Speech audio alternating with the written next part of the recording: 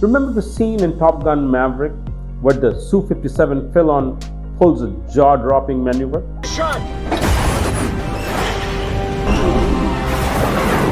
It flips vertically to dodge a missile and outmaneuver Maverick.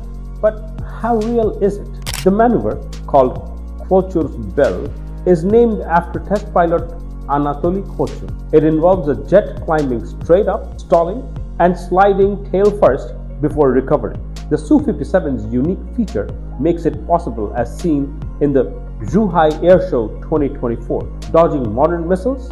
Highly unlikely. Contemporary missiles are radar guided, far too fast to evade at that range. Kvochur's Bell can switch a jet from defense to offense, but it loses speed, leaving the jet exposed for a moment.